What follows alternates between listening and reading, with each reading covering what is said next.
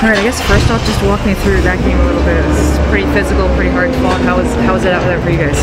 Yeah, we know they're a physical team. You know, they come hard. You know, on the forecheck, and you know we just gotta you know weather storm. You know, we know they're gonna have a good start. You know, we need to have good starts as well, and you know we just didn't have that tonight. Um, we just gotta come ready to play tomorrow, and we know they're gonna be physical. We just gotta have a better start, and you know play our game and get pucks deep on them.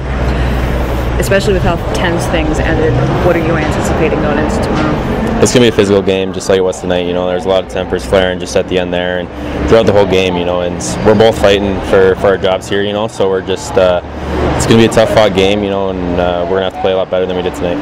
Talk to me a little bit, just personally, about your style of play. You take the body hard, you take the boards hard. You're, you're always in the mix of it.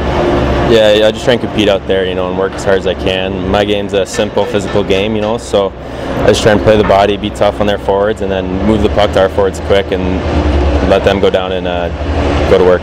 How do you feel your season has progressed personally for your, your gameplay? I think since the beginning of the year I've improved a lot. You know, I've had a lot of work with uh, Coach Donald and uh, Sly as well, and you know, I think they've helped a lot and just day in, day out, just working hard and, you know, doing what I can do to get better every day.